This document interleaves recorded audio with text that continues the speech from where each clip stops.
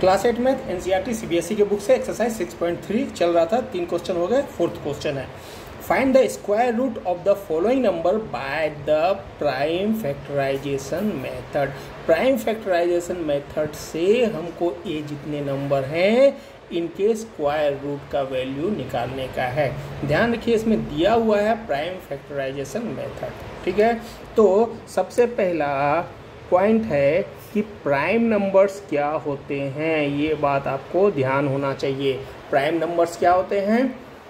ऐसे सभी नंबर जो कि खुद के नंबर से और वन से डिवाइड हो, वो सारे नंबर होते हैं प्राइम नंबर जैसे टू है तो टू वन से डिवाइड होगा और टू टू से डिवाइड होगा।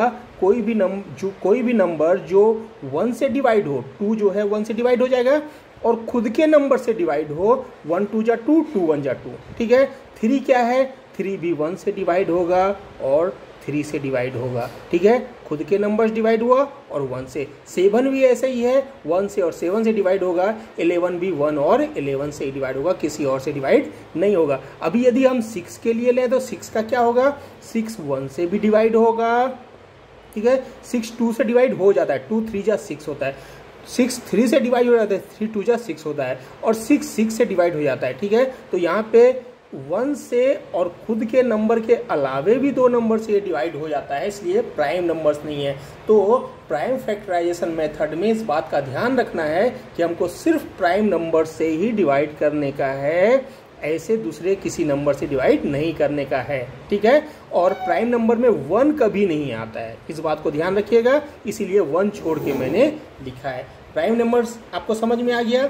अब सेकेंड पॉइंट है डिविजिबिलिटी रूल क्या है? डिविजिबिलिटी रूल आपको मालूम होना चाहिए भाई टू से डिवाइड होने का रूल क्या है? एंड में टू फोर सिक्स एट यानी इवन नंबर हो ज़ीरो ऐसा हो तो वो टू से डिवाइड हो जाता है। ठीक है? थ्री से डिवाइड का रूल क्या है? कि तीनों का प्लस यदि थ्री से डिवाइड हो, जैसे ये ये तीन वैल्यू है सेवन टू नाइन तीनों को प्लस किया seven two eleven nine eighteen eighteen यदि थ्री से डिवाइड हो गया तो वो थ्री से डिवाइड हो जाएगा। ठीक है?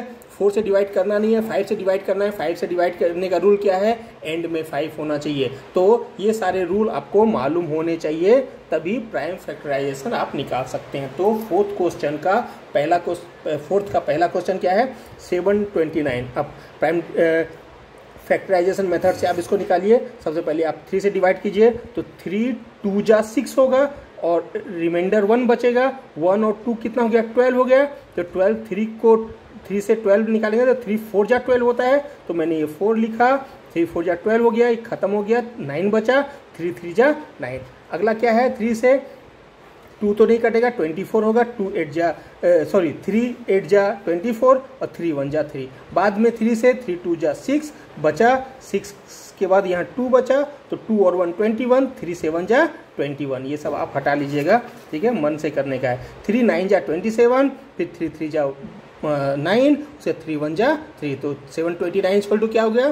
Three into three into three into three into three into three ठीक है? तो कितने पेयर बने? थ्री पेयर बने, वो भी तीन के ही therefore root of seven twenty nine ठीक है? क्या लिखेंगे?